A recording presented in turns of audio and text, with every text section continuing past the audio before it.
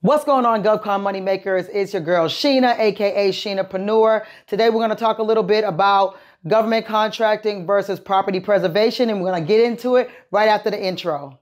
Hey everyone, welcome to my channel. Here on the Sheenapreneur channel, I share information about government contracting, veteran business content, and other business tips. Okay, so for those who don't know, I did property preservation before I did government contracting. Um, I kind of leave that story out sometimes when I'm explaining how I got into government contracting because I was in real estate, started real estate kind of like 2014-ish. I flipped, landlord, I was doing wholesaling, the whole kit and caboodle, right? And of course, because I was too volatile, I realized I didn't want to be a landlord. This flipping thing was not flipping, and this wholesaling thing was just absolutely full of birds, right? So, uh, in between the real estate and getting into government contracting, I did have a brief period of time where I was doing property preservation. So, for those who don't know what property preservation is, basically, I guess two levels of property preservation, right? So, you have essentially the bank is some kind of way in charge of a property, right? And don't come for me to comments because I got into it and then quickly got out. So this is just my experience with property preservation. I'm not like an expert in it. I'm not gonna be teaching anything about it. This is just kind of how property preservation pushed me into government contracting or helped me understand government contracting a little bit more. When I did pro property preservation, actually it wasn't in between real estate and government contracting. I was doing government contracting, but it was during COVID is when I started property preservation. So basically, property preservation is like the bank owns a property from my understanding and some kind of way they gotta keep this property from whether it's getting fined by the city or state or by the county and they have to either uh, make sure the grass is maintained, they have to make sure that the windows are boarded up, they have to make sure that this property is essentially preserved in some sort of way. If you ever heard of glazing, glazing is basically like putting stuff over windows so they don't break or putting boarding over windows so they don't break or blackening them and that type of thing. So like glazing, cutting the grass, um, changing the lock, those types of things are all within the property preservation um, realm and to include junk removal. So if you've ever been to a property and you see that it has a whole bunch of junk just outside of the property, whether it was previous tenant, whether it just became a dumping ground for that particular area, chances are like the bank or some sort of other entity other than a person owns that property and they use small companies to preserve the property. So with me, I didn't have a direct connection with the bank. I was essentially like a subcontractor. So you can go out there on the interwebs and find how to do property preservation. There's gonna be several companies. They may have contracts with banks and so they just in different states and they need people that are gonna go out there and do this property preservation, right? So you might do junk haul, you might, and you have to measure all these things by cubic feet. You have to by square feet, by linear feet, all these types of things. And especially when it comes to cutting grass and hauling, uh, changing lock, that was like what took me out. Like I have a whole bunch of locks still in my basement right now because like changing the locks, you have to be able to like break into the house in order to change the lock. So it, a, it could feel a little shady. Like my kids actually went with me on a couple of these property preservation. Initial review of the property is also like a part of the job. Like it's a separate line item to get paid. Going around Atlanta and doing the property preservation was just like a kind of a part of real estate for me. So in between me doing, you know, the real estate and then getting the government contracting during 2020, a lot of my stuff slowed down. Now it did eventually go up and we did have a lot of COVID cleaning uh, contracts, but it kind of slowed down. So I got into the property preservation, took like a little mini course. I can't think of the um, lady's name online that does property preservation teaching, but basically just dove right into that and got into it and signed up on these portals that some of the property preservation companies that actually have the connections with the bank, or maybe they didn't have a connection with the bank. They may have also been a sub under another larger company, and then they further subbed out um, this work to other companies companies who just say, oh, I want to do property preservation. So all that's fine and good. So basically what they want you to do, you go into portal and they need grass cut at these addresses, right? And so I had three companies I was working with. And the first company that I worked with was probably like the best one when you try to figure out like how this process is working or what should that company be doing to help you or, you know, they were calling to, to ask, hey, are you able to go do change lock later today or by Saturday? And you know, you do yay or nay. And then they just say, okay, great, I'm gonna assign this job to you in the portal you accept the job, and then you go on and do great things. Like I said, the changing of the locks was the hardest thing for me, so I did end up having like a, um, a locksmith. I had a locksmith friend. He was able to go into these properties and change all the locks because he knew how to pick the lock. So they, they don't want you to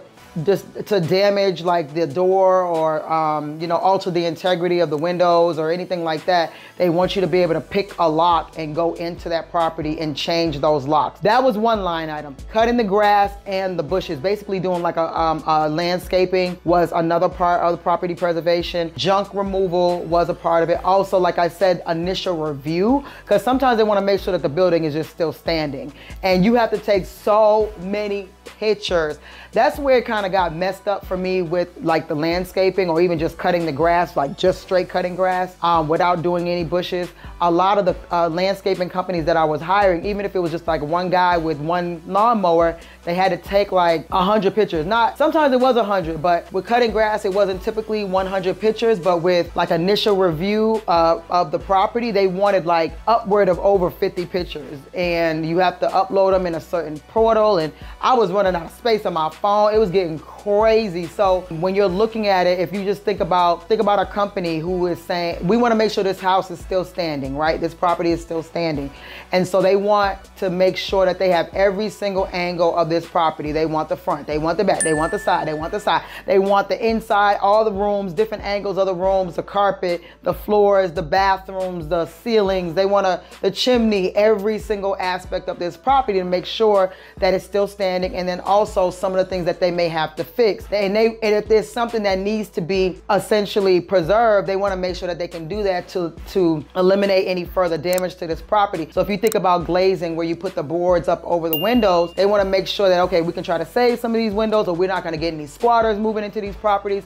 And this was very very prevalent in 2020 because a lot of uh, construction projects were completely abandoned. We probably went to I'll say the whole time during me doing property preservation, it was like April of 2020 to maybe it was it started getting warm. So let's just say June. It wasn't that long. I couldn't do it. It was like April to June of 2020 and I mean, I probably saw about, me personally, I saw about 50 houses. And then I also had contractors go out to multiple houses. And it was like every day with certain companies. And then certain companies didn't have a lot. So, you know, all that was cool. It was it was exciting, I guess. If you like to just get in your car and go do stuff. I mean, you're going to look at, especially the initial reviews. I really like those because you're just going to a random a random location and you're just taking a bunch of pictures of a property. Now, I did have some interesting conversations with like neighbors with these properties because I, there was one particular where it was junk everywhere. It became a dumping ground and it was like downtown Atlanta and some of those areas that have been um, gentrified essentially and the neighbor, you know, it was like the house was kind of close, but it was enough to where none of that debris was spilling over to the neighbor, thank goodness. And when I was taking pictures, he was asking me like, are you coming to fix this house? Because this is a pain in my blah, blah, blah, blah. I've contacted everybody. And that's probably why they had a company come out there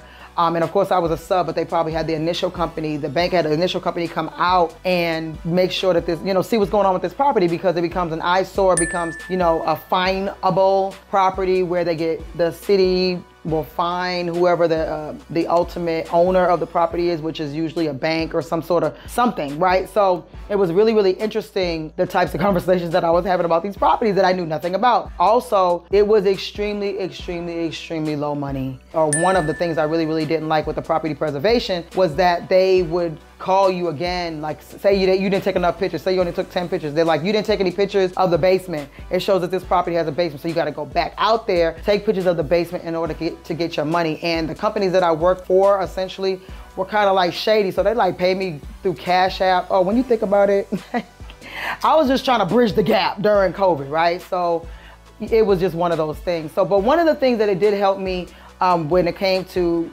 government contracting I was doing mostly janitorial. I had done some flooring, but I hadn't really gotten into landscaping like that. I hadn't really got into any other type of construction at that point. And it did help me find people fast because I needed to find people probably the same day or the next day to uh, take on some of these projects that I said I was going to you know, take on. So like the locksmith, the land, the grass cutting guy. Uh, I had someone that knew how to glaze, like those type of glazing, meaning boarding up windows.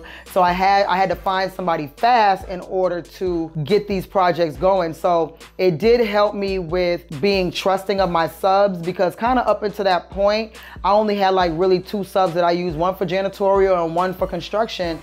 And I didn't really want to use anyone else, but that was a good little testing ground with using property preservation as a as a way in for these contractors to be vetted until they you know so they get on a big project then I already know what to expect and I did lose some people over these projects. I probably lost two landscapers or two grass cutters, whatever you want to call them, and like one construction guy because they're like, this ain't enough money. But then they just did it dirty. They didn't really, you know, like say, hey, I, this is not enough money. I'm sorry. I'm gonna have to pass on the next one that you offer. Okay, cool, I get it, trust me. But they went on and, and just kind of like ghosted me, which I do not like. So it was a really good way for me to get into government contracting, um, understanding a little bit better. Uh, would I recommend property preservation? Um, I have had some questions over time. I don't know how people just, I don't know if they just, they're just asking or maybe they think that property preservation is either the same thing or similar to government contracting. But throughout the years, I have had people ask me about property preservation. And I will say, maybe if you can get like a large volume of, of properties or a large volume, maybe they give you the whole metro Atlanta area, or maybe they give you a whole county or a whole city or something like that, and it makes more sense. But when it came to me being essentially, I, am guessing I was a sub of a sub of a sub, or maybe even a, a uh, two subs down, the money just was so watered down that there was nothing left. So I would say when it comes to that, I probably wouldn't. Now, again, I'm not an expert on property preservation, so I probably did it all wrong but it was like a little gap filler for that time during COVID when it was just crazy. It was bananas. And what's so crazy about about it as well is, of course, we had COVID, um, so we couldn't go to certain locations. We there were projects again that were just stopped in the middle of the project because of COVID. Like literally, they had a sign saying stopped because of pandemic, whatever the case is. And then also, it was a civil unrest. So there were protests everywhere. It was crazy. So there were certain streets we couldn't go down because there were protests. So we couldn't get the work done.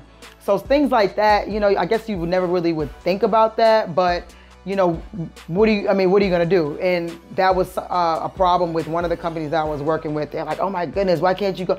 And I'm like, well, uh, boom, there's, do you not know what's going on in the real world right now? There's a lot of stuff going on in every single state and even throughout the world, so we can't fulfill this obligation that you have. So property pre preservation can probably be a good thing if you have, if you see the money works.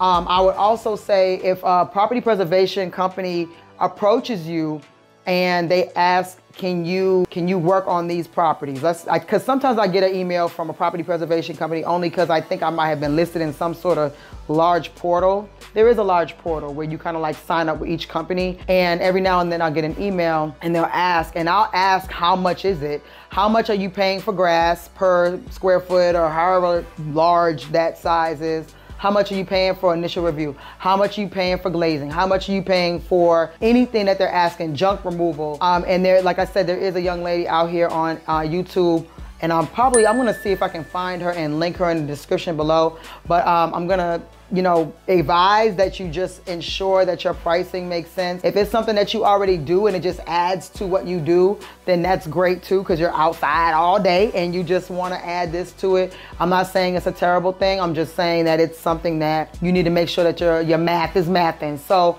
I um, wanted to share my story about uh, property preservation, give you a little bit of advice. I was only in it for like two, three months and I was like, this is not enough money for your girl. I probably made total it out of the two, three months that I did it, and mind you, let's say that I went out uh, a total of, either I went out or I sent someone out for a total of 30 total days out of maybe a 60 to 90 day period.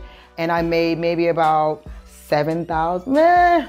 That's not, actually, no, that couldn't have been 7,000 because that sounds way too high. Maybe like 4,000. There's a big difference between four and seven. But I want to say it's maybe about 4,000. It was three years ago, so forgive me, you know. But it is something that could work if you work it correctly or if you already have a crew. That was also something that the lady said in the video.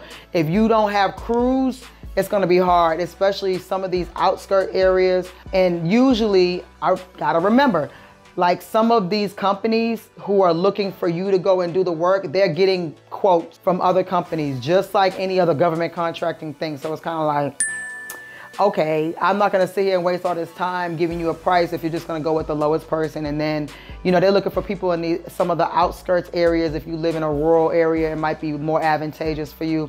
But I quit that and I can't, I couldn't go back unless the math was completely mathing. And I also had a direct connection to the bank. That's probably the only way I would ever go back because now I have more crews and all that kind of thing. But yes, I wanted to share my experience about property preservation. Make sure you like, comment, and subscribe. Please, please, please, because it helps the algorithm. You guys try to keep me lit. You know what I mean? I'm trying to hit this 10,000 subscribers by the end of July. So help me get there. And also feel free to send a super thanks, okay? That's a new feature on YouTube. So you send me a super thanks, let me know that you love my content, and then you might even like me a little bit.